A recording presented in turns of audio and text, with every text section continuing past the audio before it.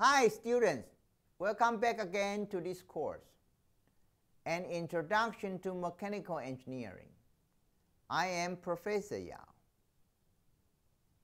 Polymer. The keywords, polymers, plastic and elastomer, molecular weight, contain hundreds of thousands of atoms organic compounds, the element carbon, carbon, man-made macromolecular materials, mechanical components, toys, bottles, handles, switches, countertop, flooring, dishes, artificial heart valve, pens, gears, compact disc, notebook computer cases, remarkable engineering materials, carbonated soft drink bottle, bottles,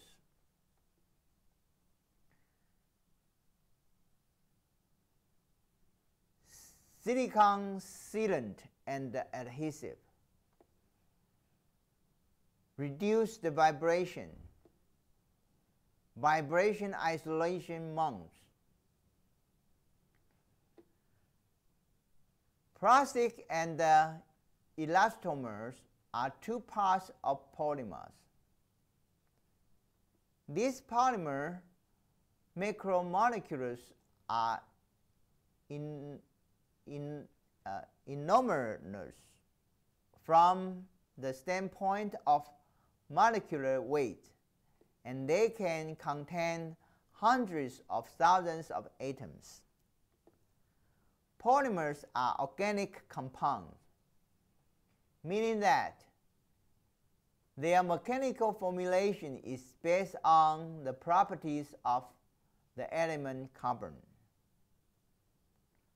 Rubbers and silk are two natural occurring macromolecules, but chemists and uh, chemical engineers have developed hundreds of useful man-made macromolecular materials.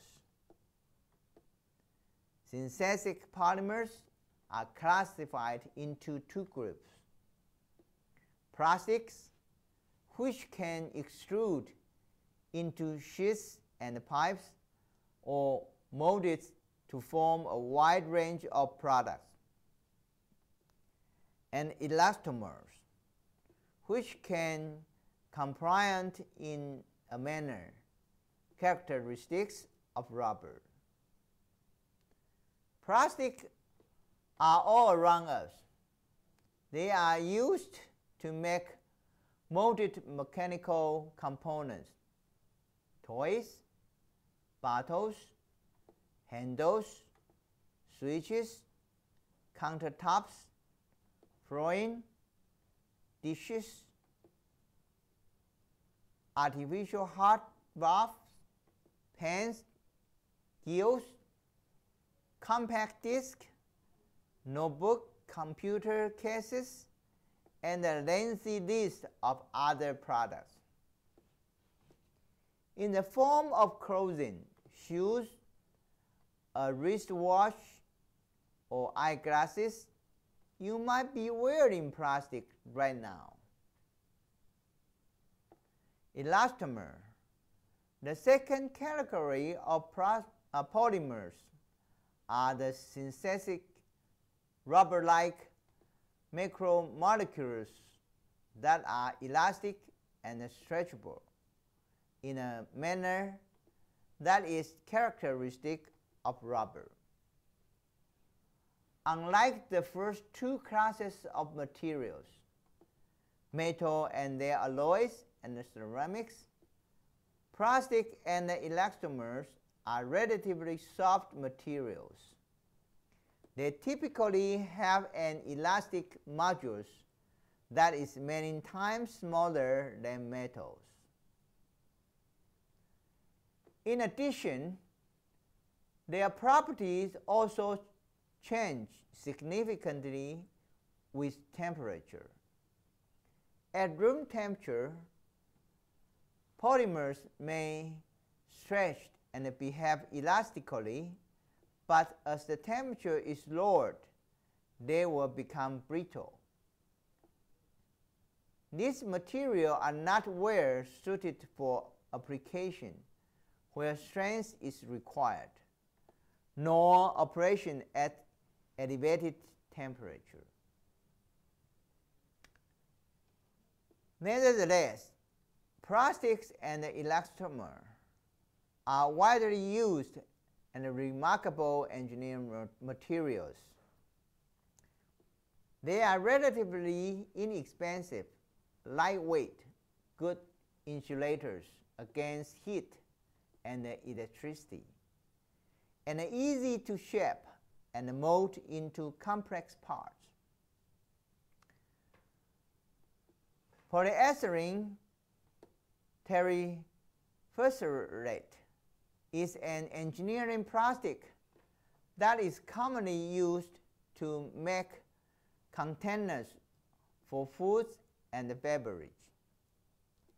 You may have seen the abbreviation PET or PETE embossed on the bottom of carbonated soft drink bottles.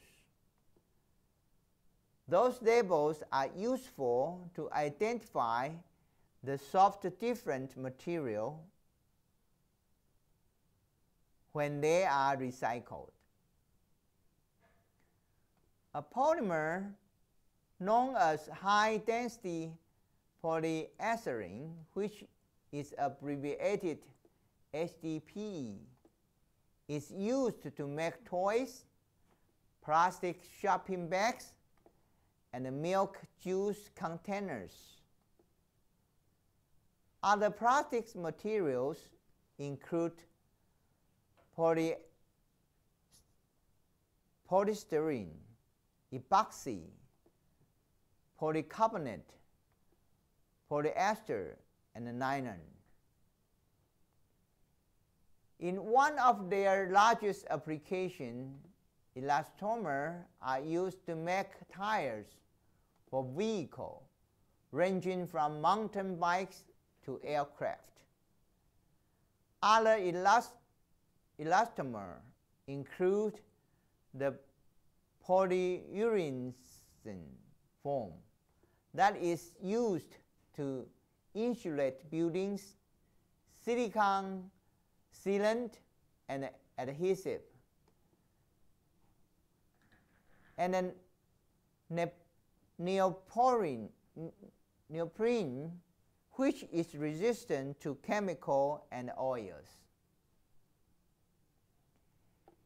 Elastomers are also used to make supports and mounting blocks that can reduce vibration and is produced by machine. Vibration isolation mount that incorporate elastomer are used to attach an automobile's engine to its chassis and to isolate the hard disk drive in a portable computer from, a sh from shock and vibration in the event of computer is accidentally dropped. Homework. Handwriting all keywords and submitting them to Coach Facebook. Just do the online quiz. See you next time.